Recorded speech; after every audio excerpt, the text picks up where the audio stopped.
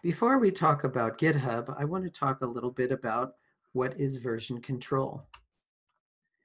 Version control, also known as source control, is a system that records changes to files over time. Um, by recording these changes, it allows you to do several things. One is simply to track how your work has changed over time.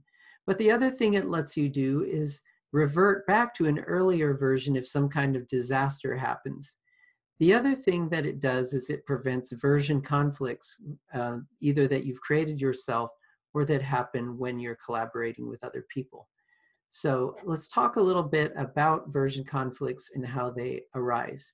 So probably you've all had the experience of working on a project for many, many days and you have a particular file, might be a Word file or something like that.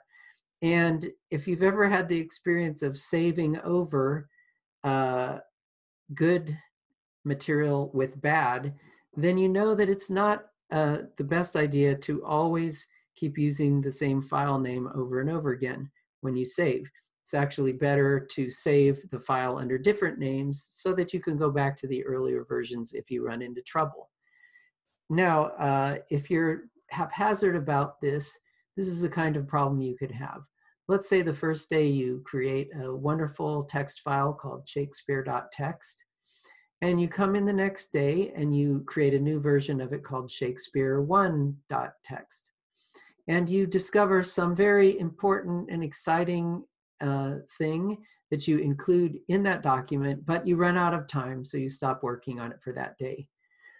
Then you come back in on another day but you forgot that you already had worked on a second version of the document. So you open up the original version of the document, make some other changes to that document, and then save it.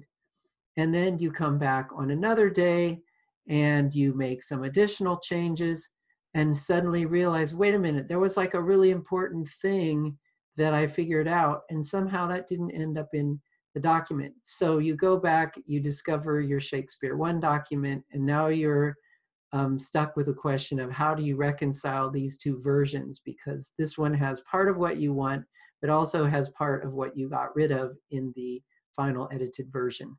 So this is a, an example of, I guess we could call it pretty bad version control. Another alternative that I actually use sometimes is a very simple informal version control system. And in that system, you take the file name that you're working with and you simply uh, append an ISO 8601 date. That's a date with year, month, and days in that order separated by dashes. And the advantage of doing that is that when you look at the listing of the files, they're all they're always in the order in which you created them because when the title of the when the names of the files get alphabetized, they'll be in chronological order. So now all you have to do is, when you come in the next day is to remember to save a new version of the file with today's date and then make your edits to it. And when you come in on another day, save a new version, make your edits. And this way you can all, you can just look and see, well, what was the latest date on any um, file name. And as long as you start with that one, you will always incorporate the most recent changes as you go through and work on different versions over time.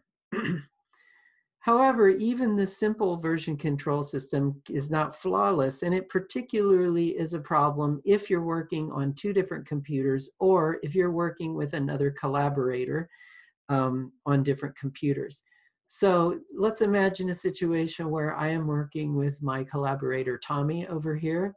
And so I create this original file called Shakespeare, January 25th.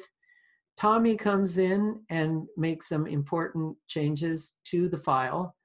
However, the next time I come in, I am not aware that Tommy has been working on this project. So I go back to the original file, and maybe we're keeping them in Dropbox or something like that. And I start editing the original file, and then we're basically in the same situation that we were even when I wasn't using the dates. The problem is that we have to somehow make sure that we're always using the most recent version. And how do you do that if the most recently edited version is on someone else's computer? This can happen even to a single person if you work on documents at, at home and also at work. So one of the uh, things that version control and GitHub in particular is designed to eliminate are these sorts of version conflicts.